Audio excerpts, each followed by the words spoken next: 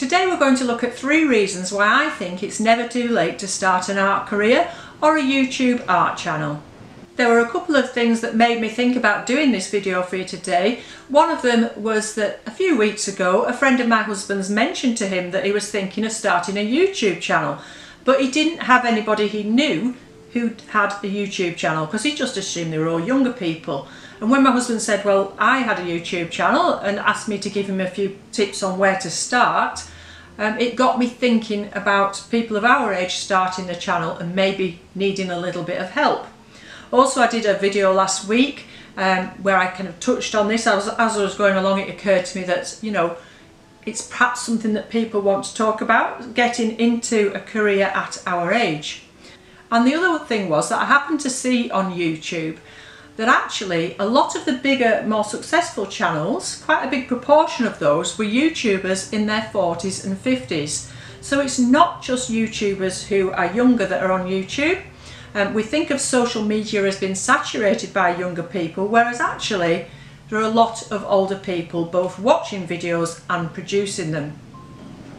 So it's good to know that because when you're making videos you really want to have it in your mind who your audience is and who you're talking to. And if we look at my demographics, a lot of the people that are on my channel are over 60. Not all of them, I've got a very wide age group, but there's quite a lot of people in that age group and it's nice to know who you're talking to when you're looking down the camera and visualise those people. Before I go on to talking about those three reasons why I think we're really well placed to start a new career at our age, um, I want to talk a little bit about how I got to where I am now because it's something I've perhaps not touched on very much on this channel.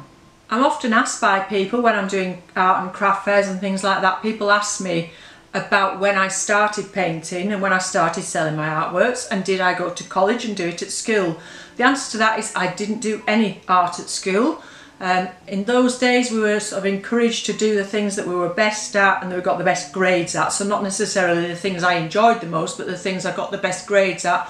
And that was science. And so I did all the science subjects at school and didn't do anything with my art. However, I did do a lot of creating because my grandmother was very artistic, as were my aunts. So myself and my cousins were brought up um, always making things, drawing things, um, you know, every in every kind of fashion, sewing, knitting, baking. We were encouraged to do all that and we did do a lot of creative things. And I think if you're an artist, you're creative, if you're a creative person, you're creative with all different things. And that's also why YouTube is a very good thing because if you enjoy creating your artworks, you're also going to perhaps enjoy a side of creating the, doing the filmmaking because it's another creative process. So there's all things that work together. So I didn't start uh, by doing art at college. So to begin with, uh, when I left school, I worked in a laboratory and then I got married and had children and stopped working. So, and since then I've done various careers. I've had, I did have a garden centre for a time here on the farm for about 10 years. Um, and then as the children got older, um, I did start going to evening classes doing art there, learning to paint and draw, which is something I really wanted to do. And as the children got older and they got to that stage where they were leaving school and going to university, that's when I decided I wanted to do my art full time. So I gave up the garden centre to put all my efforts into doing my art full time. So I did a lot of online learning and I did um, a course with the London Art College but I also did lots of night school and things like that as well. So that's where I came into it and I started very gradually first selling my work at, lo at um, my local village exhibition and going from there. That was the starting point. And then a couple of years later starting YouTube. So uh, I started YouTube because a friend asked me about a technique I was using with Brusho and she wanted to see how I did it um, and that's how I got going. It wasn't something really planned but I really enjoy it because I enjoy that creative process. So that was just to say a little bit about where I'm coming from with this um, and you learn along with your YouTube channel. So as your channel grows you're learning and hopefully both your artwork and your videos are get, getting better, excuse me I've got a frog in my throat, getting better as time goes by. Now something a little bit related to this but actually uh, not related, but anyway, this morning I was at the hairdresser's and um, I found it quite amusing. I like to have a chuckle to myself now and again. And there was a lady came in after me and she was a couple of seats up and she, she was discussing with the stylist what colours she was going to have in her hair and she said to the stylist, well, you choose, do whatever you like. She said, as long as you don't give me a shock and make me all grey. And then she turned around and looked at me and my grey hair and was very embarrassed, obviously because she thought she'd offended me, but I was just laughing about it. And uh, it was became quite funny because she then started backpedaling and said, oh, it's a lovely shade and all this kind of thing. So it, uh, I don't know why I'm saying that, it just amused me. It's all part of this getting older thing, isn't it? And uh, you might have noticed I've stopped dyeing my hair. I've decided that I'm just going to let nature do its thing. So that was quite amusing. She was trying to, you know, when you're in a hole, stop digging. She was trying to backpedal on what she said and I was having a bit of a laugh to myself about that. So right, let's get to these three points. So the first thing is that we have, I think, more experience and patience. Obviously we've got more experience because of our years, and but I think we've got more patience too. And I think you need that patience to grow a YouTube channel. It's not a get rich quick scheme. Um, you know, there is jam tomorrow, but you might have to wait a little bit for it. I think perhaps younger people are looking, younger YouTubers are looking for that get rich quick thing. Um, and I think that's perhaps why some channels fail is because they try and then they give up. I think we've got that thing where we won't give up, we'll just carry on doing a little bit and growing things gradually. Um, and we've got experience from other things that we can bring into our art career and our YouTube channel. So like I said earlier, um, the things that I've done in the past, having the garden centre, doing bookkeeping, talking to people. Years ago I did public speaking as well. So I've learned all that kind of thing can go into YouTube videos. All the practical stuff like learning how to use your camera, your lighting, your uploading and all that kind of thing you can easily learn from YouTube looking up videos on those subjects. There's always going to be somebody there teaching you how to do that and we're never too old to learn. So I think we've got the patience and the experience needed to put into a YouTube channel and our experience is also the things that we can talk about to make things interesting to the people that are watching us. So that's the first thing. So the second thing, and I think it is still quite related, is that we don't have the haste of youth and that we perhaps have a little bit more time for ourselves. Some of you might be like me, what we call empty nesters. So we've had our perhaps a career earlier on and we've had children and now in my case the children have both moved out. So my son moved out in the second lockdown around that time. I'm trying to think when, beginning 2022 he moved out. Uh, my daughter moved out a few years before that. So now I've got that extra time. Um, and I think you've had all those years of looking after other people. Not that I would ever begrudge that. I absolutely love looking after my children. Um, and that was my job. But um, you've got that time for yourself. And I, don't, I think because you've spent all that time looking after other people all those years, you don't feel too selfish now, spending a little bit of time on what you feel passionate about. And I don't think that you should. I think you should enjoy this time, think, right, I want to do what I want to do now um, and spend this time growing your art career and your art business. So yeah, that we've got patience, we've got experience, and we don't have that haste of youth, and we do have that time just to be a bit more considered about where we're going with our career.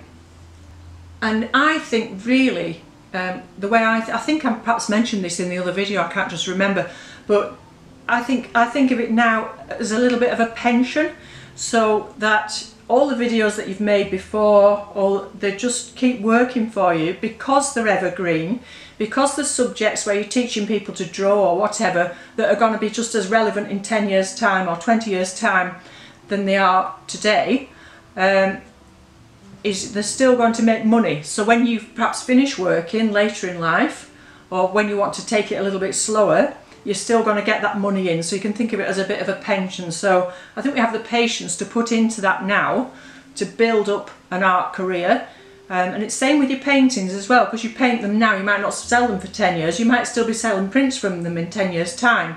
You know, these pictures may have gone, um, be sold, but then you still might be selling prints and greetings cards from those years down the line. So we've got that patience and I think we can build up kind of a pension with this career. I think that's brilliant for that kind of thing. And thinking about all those videos working for you long, you know, years after you've made them, um, and like I said the other day, some of my first ones are just awful, but I leave them there because they're still making money. Just imagine if Bob Ross had had his own um, YouTube channel in the 70s or whenever he was going, it, um, it must be 70s from that hairdo, I'm sure, or maybe 80s. I mean, I'm not putting myself on that level at all, but you imagine, you know, everybody is still watching Bob Ross. So many people are still learning how to paint from Bob Ross all these years later, from when he did those tutorials. So your tutorials that you do now could be getting watched in 10, 20, 30 years time and still generating that revenue. And the third reason I think that this is a great career to have later in life is that it's a career for life because you can do as little or as much as you want to. You could work flat out seven days a week, both doing your paintings and your YouTube channel, whatever you want to do. Or you could do one day a week or anything in between. So it can be a full, completely full-time career and it can be a part-time career and you can reduce it as time goes on. For the reasons I've just talked about, because those videos and paintings are still there working for you, long after you've done them, long after you've put the time in creating those things, they're still making money for you. So I've got one image that I sold years ago, uh, sold the painting years ago, and it's still one of my best selling greetings cards and prints. So it's a long, long time since I did that painting, but it's still making me money. And the same as with the YouTube uh, videos as well.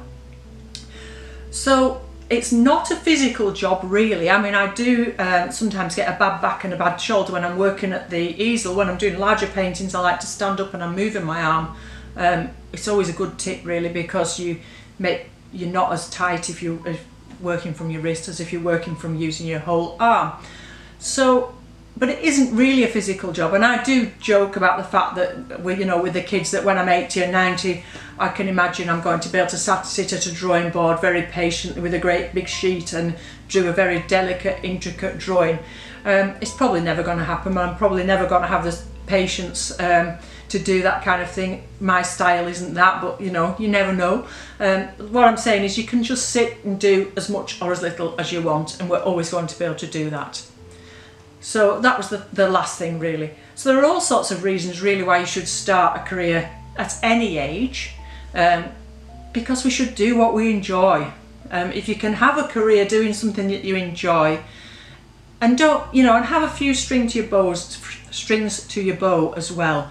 Um, if you put all your eggs in one basket, you're not going to perhaps have that, like we talked about, that pension of little bits of things coming in. So people talk about passive income online um, and you think, oh, that's, you know, can't work, it's never going to work. And it's not passive because you do, you do have to put the initial hours in.